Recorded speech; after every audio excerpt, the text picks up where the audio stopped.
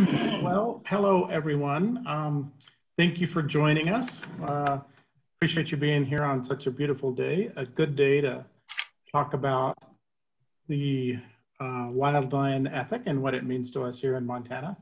If you've been listening, you will notice that we are having a little bit of technical trouble um, with one of our speakers, Del Burk, but we have our other speaker, Wayne Chamberlin, here ready to go. And in just one second, I will introduce him.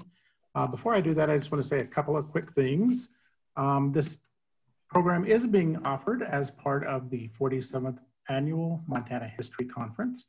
Uh, we've been doing this for 47 years. This is our first time, however, to do it virtually. And as you have noticed, we're still learning a little bit. Uh, it's not quite like being together in person. It's uh, if we can get it all worked out, it's better than not being together at all, though. We do want to thank the Dennis and Phyllis Washington Foundation uh, for their support of the conference. They've been supporting it for years, and it means a lot to us and enables us uh, to do things we wouldn't able be, otherwise be able to do. Want to encourage you. We still have a couple of things left coming up later in the month, and then even some things in October so I encourage you to go to our uh, homepage on the web, mt.his.gov, and uh, click the history conference link and see what else is coming up. Good programs like this one. And with that, I'm going to introduce Wayne. And Wayne, you can go ahead and start sharing your screen if you're ready. Okay, I will share a screen now. Okay. And Wayne Chamberlin has spent the last 40 years in Montana, uh, splendidly called the last best place. He is a retired physician uh, who is fortunate to choose his adopted home in Helena.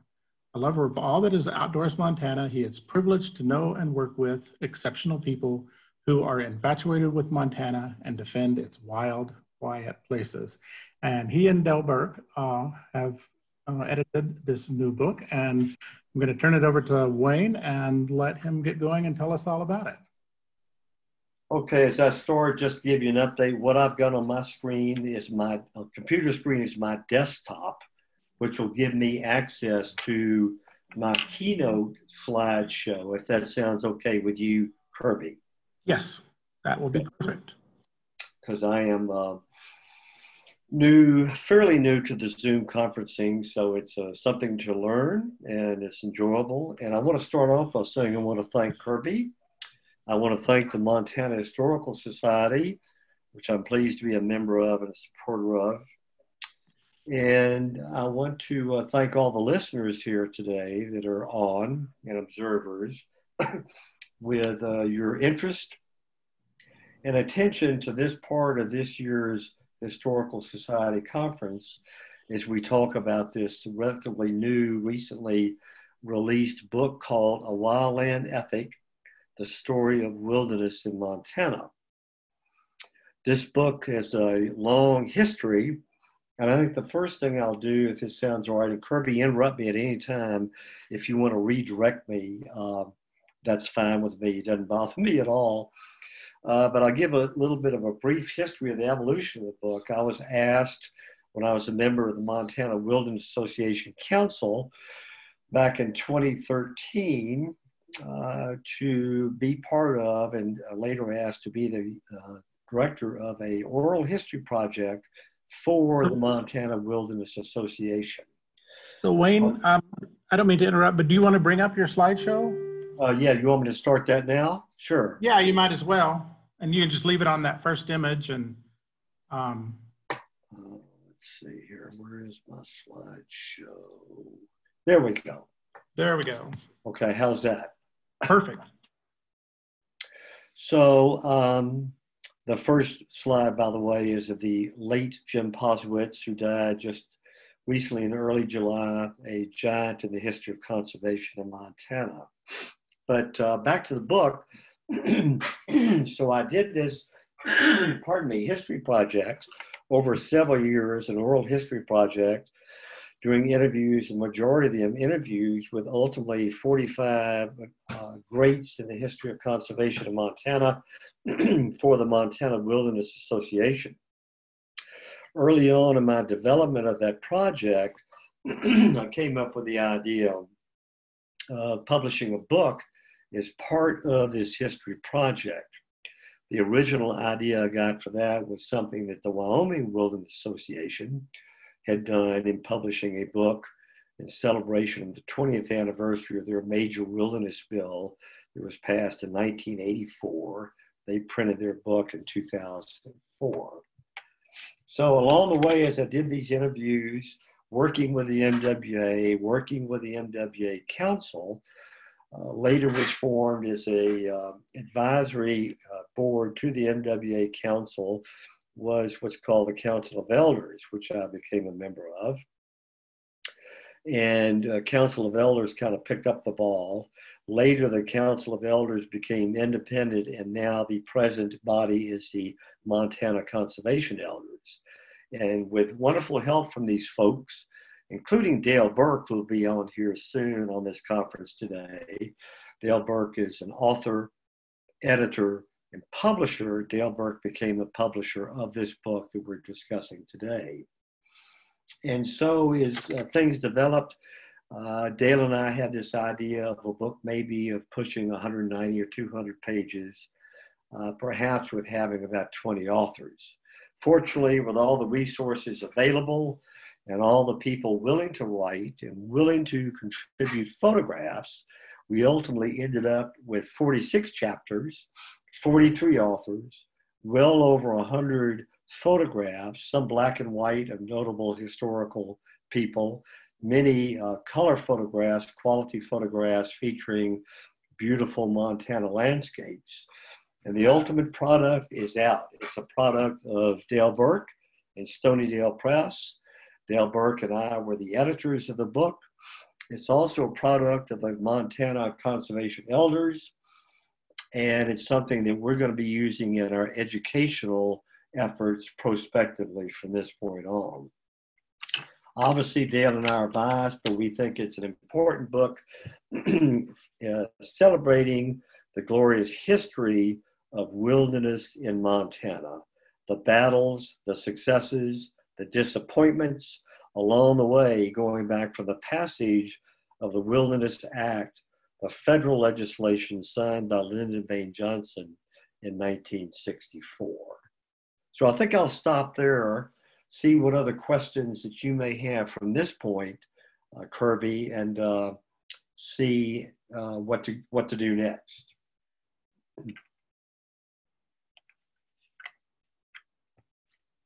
Kirby?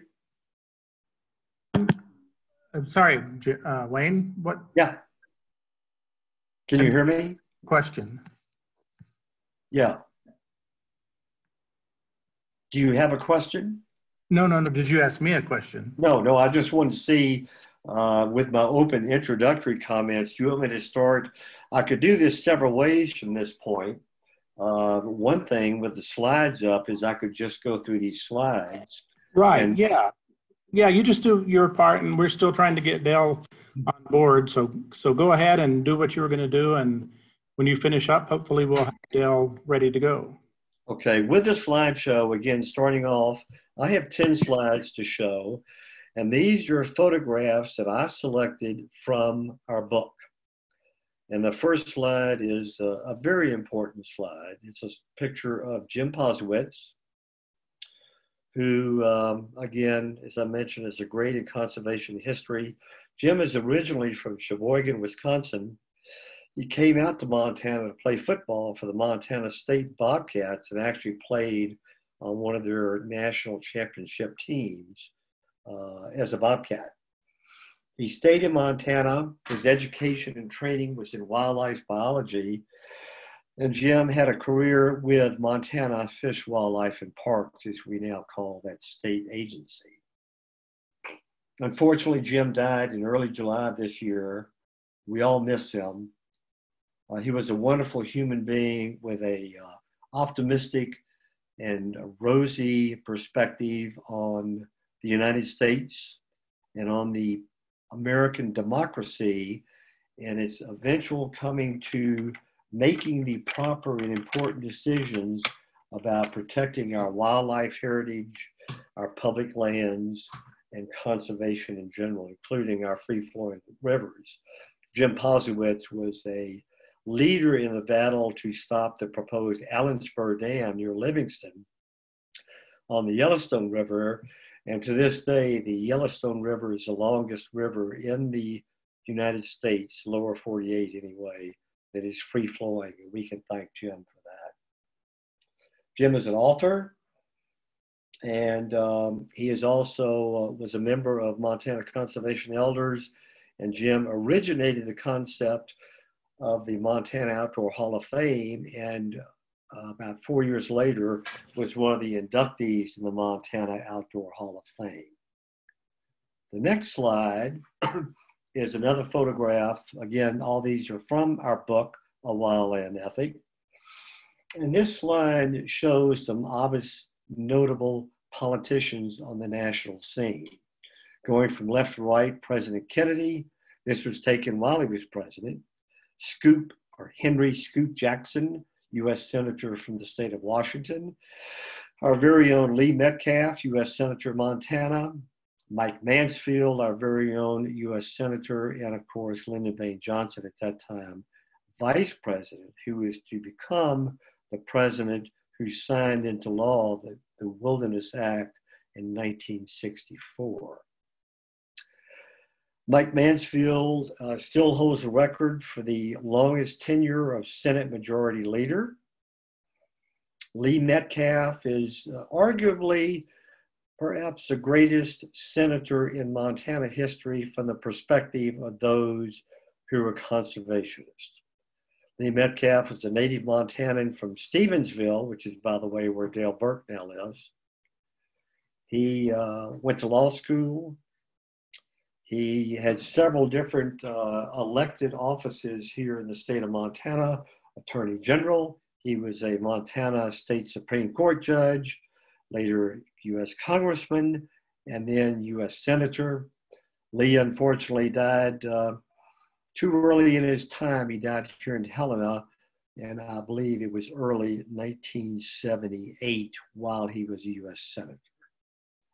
Lee has done so much. He has done so much for conservation and specifically wilderness bills uh, for our state.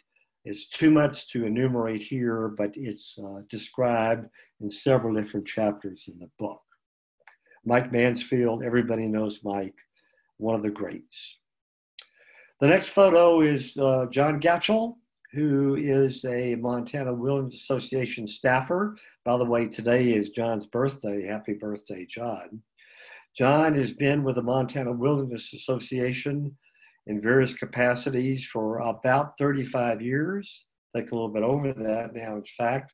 He was conservation director for the MWA for many, many years, several decades, in fact.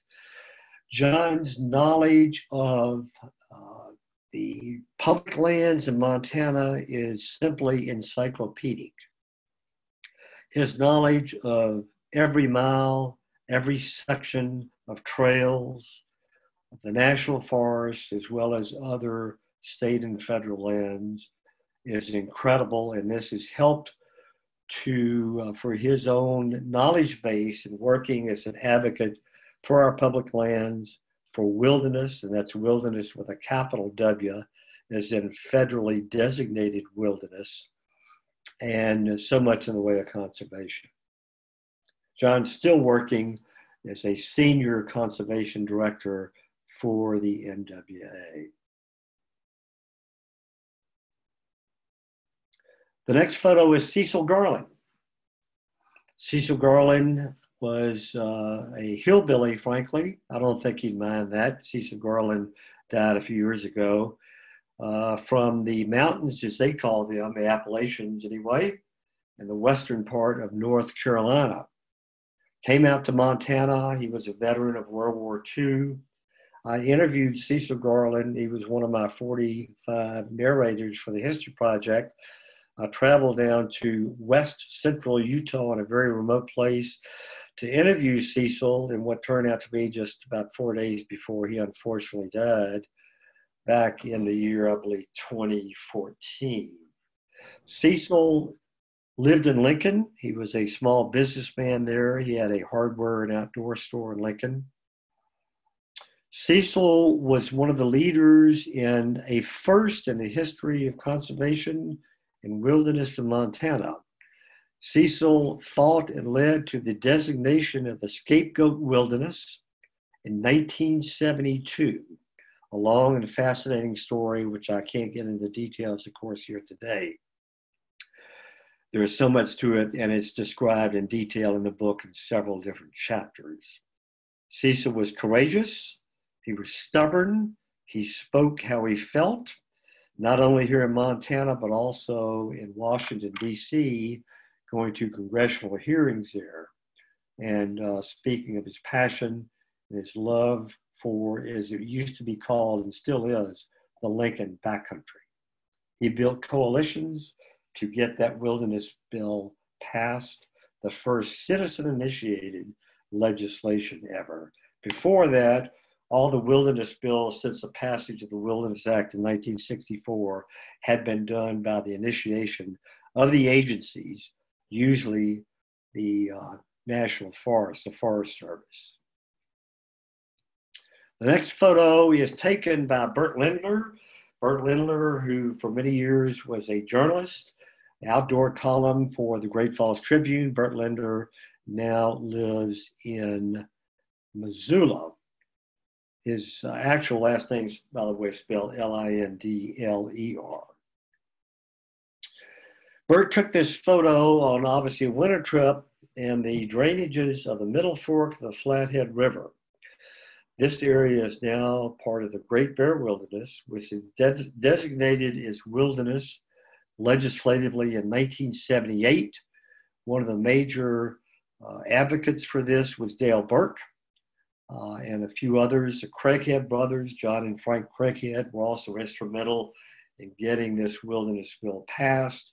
For those that don't know the specifics, the Great Bear Wilderness is a wilderness area uh, primarily along the, uh, again, middle fork of the Flathead drainage. It is sandwiched between, if you will, uh, Glacier National Park and the Bob Marshall Wilderness area. The next slide here, excuse me, is a photo taken of a rally in the Capitol building right under the dome in early 2019 during the legislative session that year of the Montana legislature. This was a rally in support of our public lands. The speakers were many, photographed uh, during this uh, also uh, was featured in this and other photographs was our governor steve bullock senator jon tester was there many other local conservationists were there mary hollow of prickly pear land trust is one and many others speaking from the perspectives of native americans of conservationists of hunters of fishermen and people who just like to get in the great outdoors. It was a very successful rally. We had another rally about a year. Uh, apart from this one, there was an outdoor rally on a very cold, bitter winter day. It was also amazingly well attended for people all over the state coming to Helena, coming to the cattle, to the capital to express their support for conservation. This is a, a really striking photo this was taken by Gene Sentz's daughter. If you look closely, the upper right, up against that cloud, you see a silhouette, and that's Gene Sentz. Gene Sentz is a uh, been a teacher for years. That was his career, teacher in Choteau. And Gene Sentz and his wife Linda are probably two of the nicest, sweetest people I've ever met. We need more people like Gene and Linda Sentz. Uh, Sarah Sentz, the daughter, is also active in environmental issues uh, here in the state of Montana. Gene is also an expert photographer, uh, as witnessed by this photo. This was taken along the Rocky Mountain front at Swift Lake. For those people who know what that is, east of the divide, up fairly north up toward glacier country. And it's a stunning photo that has been featured in the, one of the MWA annual calendars. And uh, I find this photo just uh, stunning. Next slide is a photo of Doug Ferrell, who is uh, one of the initiators, if not the real initiator, of the idea of the MWA having a history project. Doug is uh, lives in the Trout Creek area. He's a small businessman. He's a builder, contractor, and designer. Uh, he's originally from the Midwest, graduate of Brown University. Came out here kind of hippie style to live in the uh, Northern Rockies many years ago, decades ago. This is photographed in the Cabinet Mountains, an area that he loves. That's his part of the state, and he loves it. One of the things that Doug has done, uh, besides being uh, president of the MWA Council at one time, and a continued strong advocate for the MWA, Doug is a leader in what's an organization called the Friends of the Scotchman Peaks. That is a conservation group and an advocacy group pushing for designation as wilderness of the Scotchman Peaks area, which is an area that straddles both Montana and Idaho, due west of the Cabinet Mountain Wilderness. It's an area that is uh, wild, it's beautiful.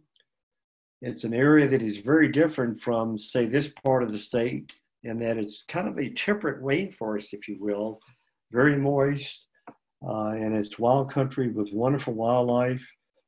Doug is a strong believer in collaborative efforts. Doug does the hard work. He and his compatriots are meeting with people across the table, people that they don't necessarily agree with on too much, but they meet face to face and they hash out and they work compromises with the ultimate goal of getting things done. He's a great guy, very positive.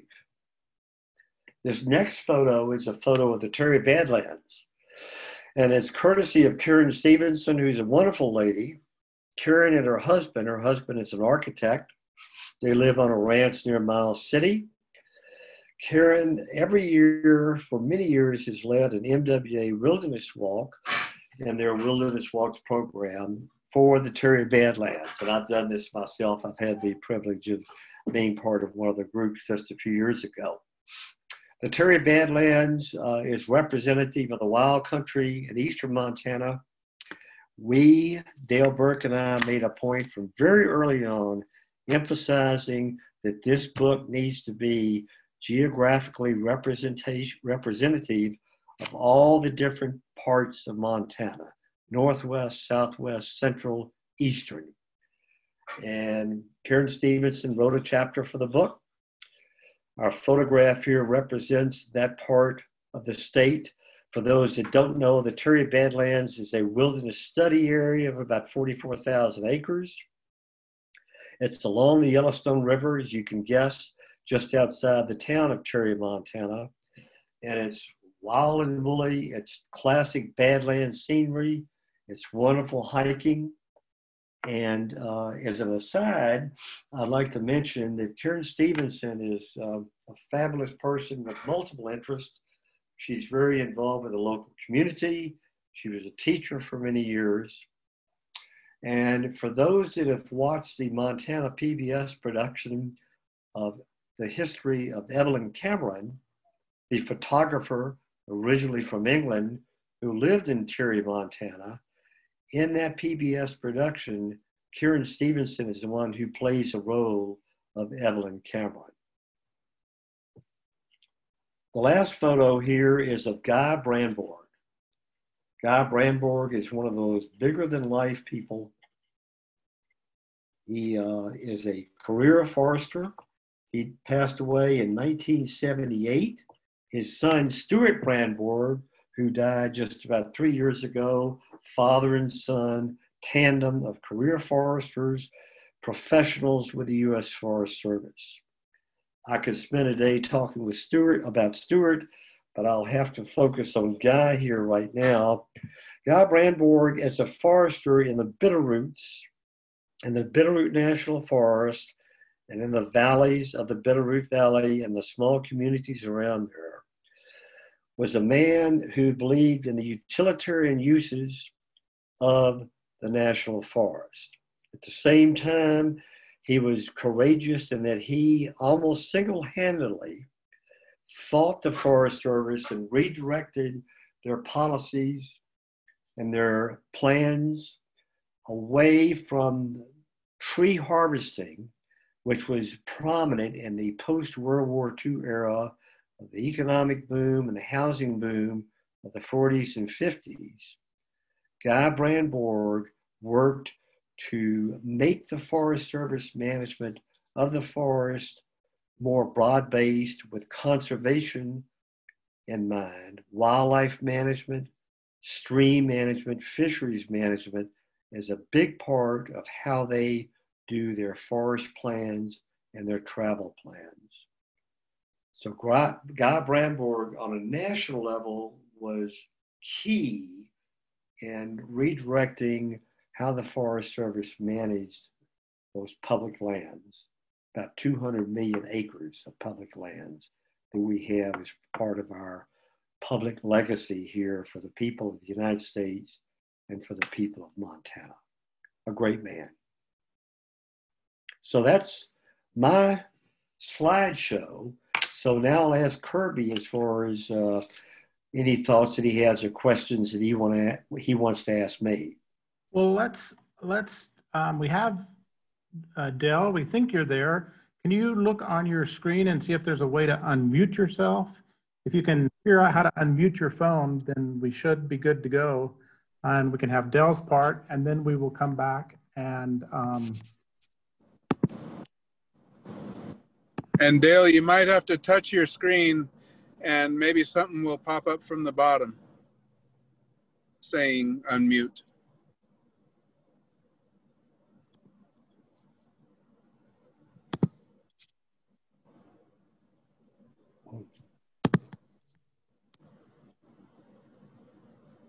We're not hearing you yet, Dale.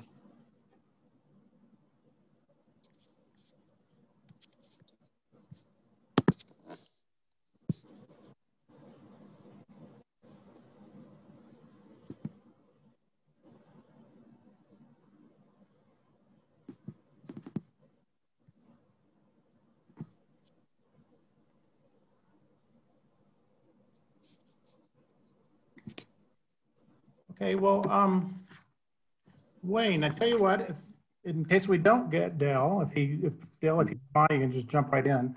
Uh, if we aren't able to connect, uh, if it's okay with you, Wayne, what I will do is just, I'm just going to read a little something from the book that I thought was really great. For people who, who haven't seen this book, I think you'll definitely want to get a copy.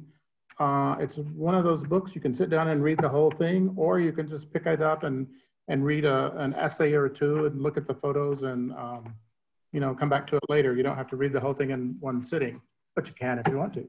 Anyway, uh, I think many people, especially in Helena, knew the Reverend George Harper, who was at uh, St. St. Paul's uh, Methodist Church here in Helena for many many years, and his son Hal wrote uh, a short chapter, chapter seven but in it, he talks about a letter. George came out to check out Montana and see if it's someplace that um, his family might want to live. And so this is this letter is included in the book, and I'm just going to read it. Um, and so George writes, and um, Dorothy, um, George's wife and Hal's mother, is is uh, reading this to the kids. And so she, Dorothy, read, "Rusty Hal, Stevie, and Nancy." Daddy is on the train coming home from a land that will be our new home before long. It is the land where the mountains are so tall that the snow on top of their heads becomes the white clouds that float around them, and the earth and sky are one big picture that you stand and look at, never quite believing it could be real. But it is real. You can touch the clean earth. You can ride on horseback up and up and up the green grassy shoulders of the mountains and watch the deer and elk run and see the black bear go lumbering off into the shade of the tall trees. And you can catch the glint of sunlight reflecting a rainbow from the leaping trout, which break the stillness of lakes so clear you can hardly see the water. And you can breathe the clean air and sing because you almost burst with joy. It is the land of the big sky. You feel little standing under its hot, bright sunlight of a crisp, cloudless morning, or lying on your back looking up at the night with stars so big and near you feel you can reach up and touch them. You learn what humility means, but at the same time, you feel big. There is no place for little thoughts or narrow feelings. It's just too big of a country for little things. The Indians love their, quote, land of shining mountains. The people who live in its fine out of doors now love it too. You can feel and see the pride and the wonder in their eyes when they look across the rolling plain to the white peaks, and it will be ours to be proud of too. We are moving to Montana, and the big land will welcome us. We will ride her mountain trails and learn the secrets of her forests. We will work on the prairie and learn the ways of horses and cattle. You will grow straight and tall like the pine tree, and graceful and swift and strong as the deer. And you will be clean and honest as the wide open country, which has nothing to be ashamed of. It is a land where the people are still pioneers and where the church is a straightforward church. Its young men and young women need to be banded together in a movement to make the people and policy of the state as much a part of God's perfect plan as the mountains are. That is why we are going there to live. God wants us to help out there. More and more people will come, and the state will grow better or worse. We will grow up with the state, and we will help shape its future. It is our land, yes, and ours to love and to build.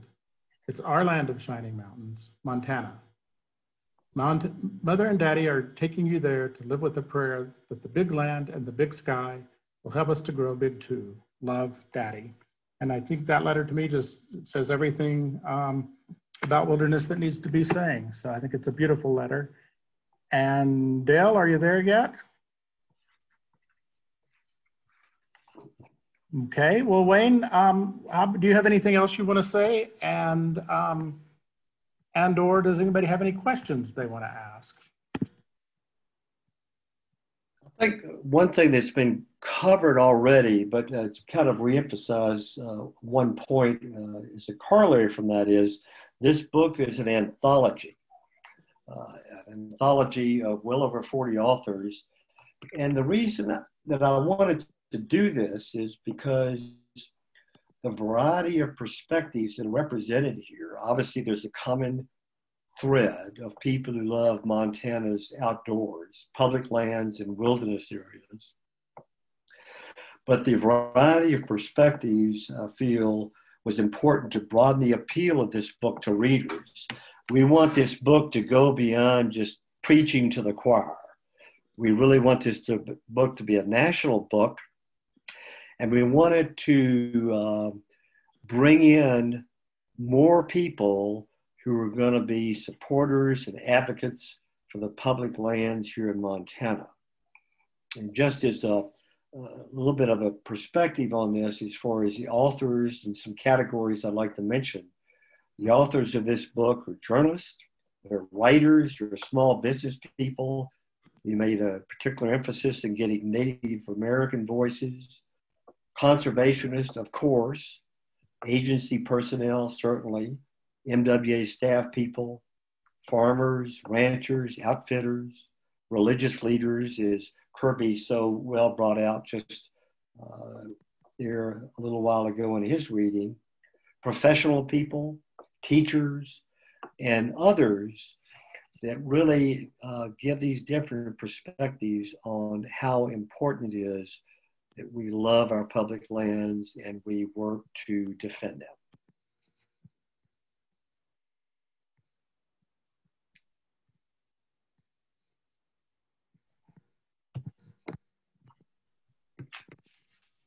So do we have any questions out there for Wayne?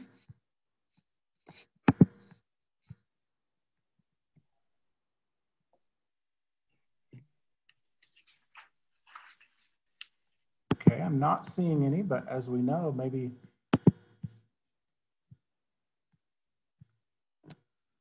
Oh, okay, there we have one, it looks like. Oh. So Wayne, could you tell us yeah. more about the Montana Wilderness Association? Maybe you could elaborate on one of the skipped stories about a person that you uh, uh, kind of glanced over earlier. Good questions. Uh, the Montana Wilderness Association is a uh, major conservation nonprofit organization here in Montana. It's been around for over 60 years. MWA was formed back in 1958 in the Baxter Hotel in Bozeman, Montana. Uh, some people, and two of those founders of that organization, the book is dedicated to those people, Ken and Florence Baldwin. They are among the founders of the Montana Wilderness Association.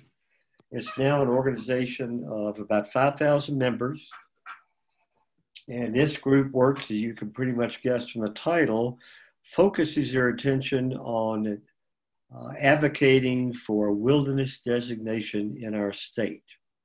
In the state of Montana, we have a little bit less than 3% of our land area that is designated wilderness. All starting with a passage of the Wilderness Act in 1964, when at that time we gained wilderness designation for five areas in Montana, examples being the Bob Marshall Wilderness, the Cabinet Mountain Wilderness, the Gates of the Mountains Wilderness area, right here near Helena, the Anaconda Pintler Wilderness, and some others that were uh, designated then and then later. The Montana Wilderness Association works for the remainder of those lands that are worthy of wilderness, that have been recommended as wilderness by agency bodies, primarily the Forest Service, but also the BLM and the U.S. Fish and Wildlife Service, and works for these areas to hopefully someday become designated wilderness areas. That designation is a federal legislative process involving our state's congressional delegation, as well as the US Congress and the legislation that must be signed by the US President. The MWA has wonderful programs. I encourage people, if they're not already members, to check their website, which is www.wildmontana.org to read about uh, the programs that they have, the activities they do, the dedicated staff people that work for the MWA. And I also want to mention as a side there for grassroots organization, they do one thing in particular that I'm very fond of, and I'm biased because I'm participating. It's a trip leader for what they call the Wilderness Walks program of the MWA that every year does summer and winter hikes or snowshoe trips into Montana backcountry areas. Almost all of them are day trips to get people to just simply, if they're not already, to get them to fall in love with the outdoors of Montana. So that's what the MWA is all about in a nutshell. Please check their website for further details. And as far as stories go, I believe there was a kind of a corollary question about any stories uh, that people have uh, in the book uh, that uh, readers may be interested in. And there's so many in here, it's kind of overwhelming to try to select one. Um, and I think one theme that I would emphasize these writers is their love of our public lands and their desire to be willing to defend these public lands. But I think I will just go through the table of contents here and mention a couple of stories that are very uh, enthralling. One of them is written by a fellow named Greg Schatz, who's a builder and packer up in the Forest Service in the Whitefish area. It's chapter 22 and it's a word or two about Scruffy in the Wilderness. It's the title of his chapter, and it's about one of his beloved horses named Scruffy. And so I would encourage people, of course, to buy the book uh, and to read that chapter because it's uh, it's very heartwarming. Another chapter in here that I would uh, cite, uh, and I would cite this also particularly because uh, it looks like Dale is having some trouble getting on here is a chapter that he wrote going back to his childhood. Dale Burk uh, grew up in the Tobacco Valley area of Montana, northwest Montana. His father was a gyppo logger, small operation logger up there. And Dale gives a story about when he was a young man of his grandmother, who was a cook for outfitters and guides up in that part of the country, including Glacier.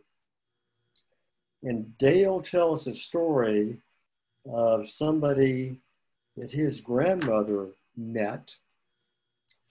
And um, it's a very enthralling story that um, I'm a little bit reluctant to get on the details because I'm hoping that Dale may still be able to um, get on here.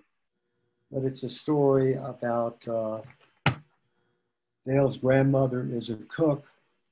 One of the clients on one of the trips was a noted American journalist, Ernie Pyle, who I'm sure everybody's heard of, the journalist during the World War II era. Ernie sadly was killed in the later stages of World War II.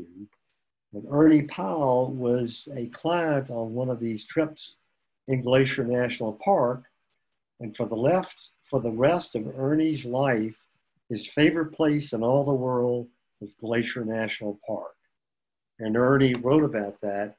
And it's a very touching story uh, to read about.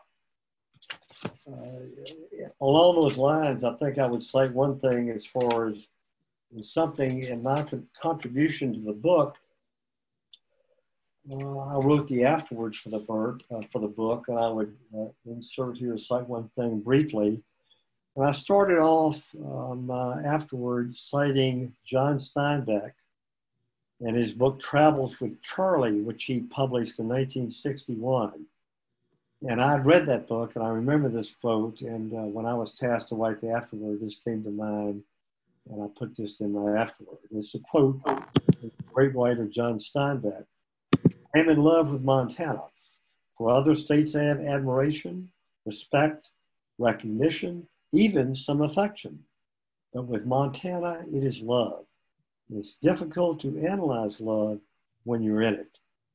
And this is an author who traveled all over the country with his poodle named Charley and a small camper uh, as he traveled all around the United States. And the one state that John Steinbeck fell in love with was the state of Montana. So Wayne, we have some other questions coming in. Um, okay. Before we do that, can you do you want to turn your video back on um, on your computer? That way people can see you talk and not just have to stare at me. Okay, so I think that's share screen. Is that correct? Well, I um, you can. Or is it start video? No, I think it's yeah, start video. It says unable to start video because the host has stopped it. Hmm. Well, he didn't stop it on purpose. I, oh, I'm sure. Uh, huh. Should I try share screen? Uh, sure, if you want to. And in the meantime, I'll go ahead and ask some of these questions. Um, so let's see, what, what currently, what lands are you working on to save? Uh, okay, I don't have, so I'll try to start video again. It says unable to start video. I apologize.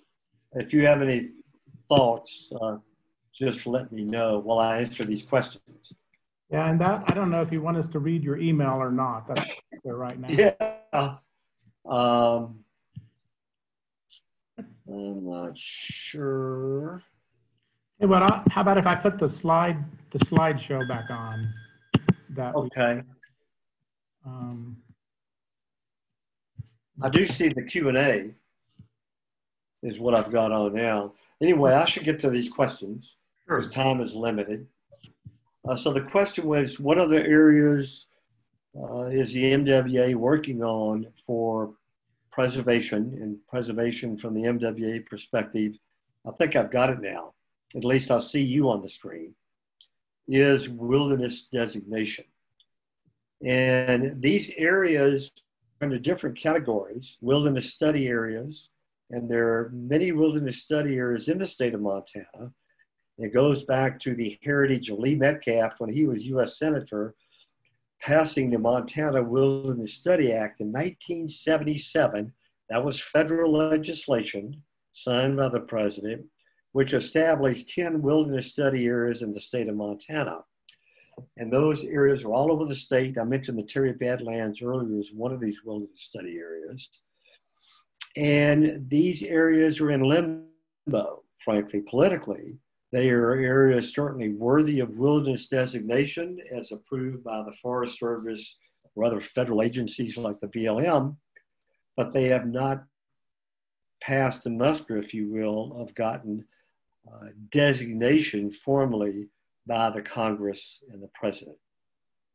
But there are many other areas in the state that are under categories such as inventoried roadless areas that do fit in to being worthy of wilderness. And these, there are about 50 of these various areas around the state that um, the MWA works for to try to get wilderness designation down the road for these places. There are too many to uh, discuss here, I think, in the short time we have left, but I would encourage readers to look at the back of the book. We have a listing of some of these areas, and we also have in the back of the book to help out uh, a listing of about 20 prominent conservation groups in Montana uh, for readers to consider to uh, investigate and possibly join. The, the uh, website again of the Montana Wilderness Association, www.wildmontana.org, has a listing of all these potential wilderness areas. Okay, great. Another comment, beautiful pictures. How long did it take you to compile the, jumping around, uh, compile the pictures and content of so many contributors to this book? Great question. Many photographers, we have, uh, we have over 40 authors, and we also have over 30 photographers who contributed to this book. Dale Burk contributed, uh, particularly some of these historical photos that we have in the book that are black and white. A few of those I selected in the slideshow. Most of the pictures, the photographs are color, landscapes of uh, beautiful Montana scenery. And I would cite in particular one photographer who is also an author of uh, I'm biased here, but one of the better chapters in the book, and that's a fellow Pete Benjifield who lives in Dillon. And Pete is also an accomplished photographer who has traveled the country, particularly the Western United States, and taken marvelous professional photographs uh, around the United States and, of course, in particular, Montana. Pete is a retired agency person, uh, living and working in Montana for decades, a wonderful fellow, and I would encourage people to buy the book uh, for another reason, and that's to read Pete's chapter in the book, which does a good history of the origins and the evolutions of our public lands in Montana, uh, politically, and uh, how they impact all of us economically and socially. Okay, so you mentioned the Terry Badlands. I have not been there. Is any of the area accessible by road? Yes. There is a road that goes in uh, into the Terry Badlands. The Terry Badlands is just off the Yellowstone River. It's actually just a couple of miles away from the town of Terry. And uh, there is a road that leads into part of it. Of course, uh, if and when it receives wilderness designation, that road will not be part of the wilderness area. Again, it's about 44,000 acres in uh, aggregate, but that road does give you access into facilitate hiking there. And uh, it's classic Badlands scenery. It's dry country, but it's also reminiscent also with a touch of southern Utah with red rock scenery, bands of sedimentary rocks, wildlife, of course, and it's a very romantic place. You also mentioned conducting oral um, interviews. Are those available somewhere, maybe online? Those interviews that I did, uh, and almost all of them are video interviews, are part of the MWA History Project. And the interviews uh, that I've done are available. I'll be glad to help out anybody Uh, I can give anybody a listing of the interviews that I've done, and I'll be glad to send via USB memory device or whatever copies of those interviews. We have them pre- preserved on several external hard drives. Uh, one in the MWA office here in Helena at the uh, Bluestone building, and others in various places, including, of course, I have one here at home. And I'll be glad, glad to work with any individual or any entity that is interesting, interested in watching some of those videos. It's about a terabyte of information. There's a lot in there, uh, hours and hours of interviews, and it's, um, of course, I'm biased, but I think they're very educational. Great. And, and speaking of education, does the MWA have presenters who visit schools across the state to share their message of the importance of wilderness? Yes, the MWA has a staff of about 20 people, and in their advocacy, they do presentations to uh, any and all public groups that are interested in learning about what the MWA does, and groups or individuals that are interested in our public lands and their present status and what the MWA does in the way of ad- advocacy to help protect those lands. As an aside there, I'll also mention Montana Conservation Elders. We're working for education and that we want to teach through teachers in the state, train teachers to teach the history of conservation here in Montana, citing people such as the late Jim Posewitz and the courage of these people and what they've accomplished. So is, is there a relationship between the MWA and the Montana Outdoor Hall of Fame, or is that a separate group? They are separate. The Montana Outdoor Hall of Fame was originated by Jim Posewitz, actually, because Jim had attended a meeting of the Wyoming Outdoor Hall of Fame some years ago, and Jim figured, well, if Wyoming can have an Outdoor Hall of Fame, Montana can have an outdoor hall of fame. So he started the concept with his great connections and leadership, got it going. Uh, he was not in the first class of inductees. That was about six years ago uh, for reasons that he was the initiator, so they waited to induct him in the second class of inductees. But the Montana Outdoor Hall of Fame is more associated with agencies such as Montana Fish, Wildlife, and Parks and the Montana Outdoor Legacy Foundation. You can check those agencies through, uh, Google them through the websites, and you can get connected or connect directly to the Montana Outdoor Hall of Fame. We've had three classes of inductees, each class consist, consisting of approximately 10 people and uh, they're wonderful people and they have wonderful stories. Great. Well, I'm just not seeing unless someone else has a last minute question here for us. I think we've answered them. Um, I, Wayne, uh, anything else? Final parting messages? Um, I would, uh, since we're ending the program, I mean, there's so many things I could say as far as in defense of our public lands and the history of how it all came about, which I wanted to kind of emphasize today. But I think I'll end it as I ended the book with my afterword, if I may, uh, and talk about, uh, as I describe my own personal journey, which I'm not going to get into, of course. I wanted to end the book with a message of hope, with a call for activism, with a motivation for people to um,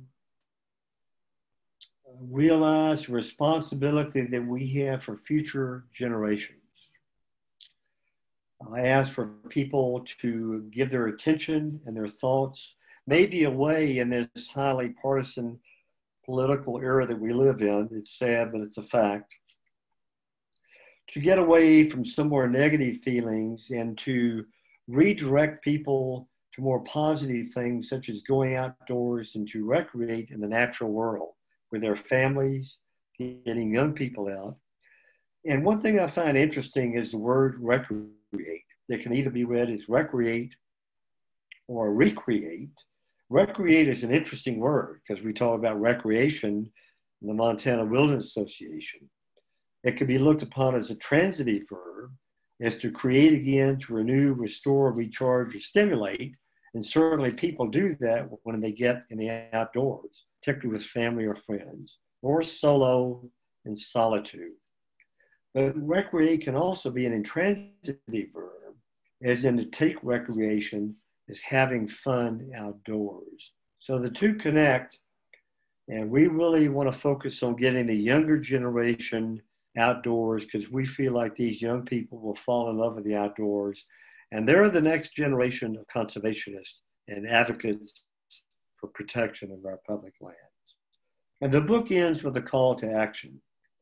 And I ask each reader to do something to protect our wild places. Write letters, join groups, support with uh, financial donations, things like that.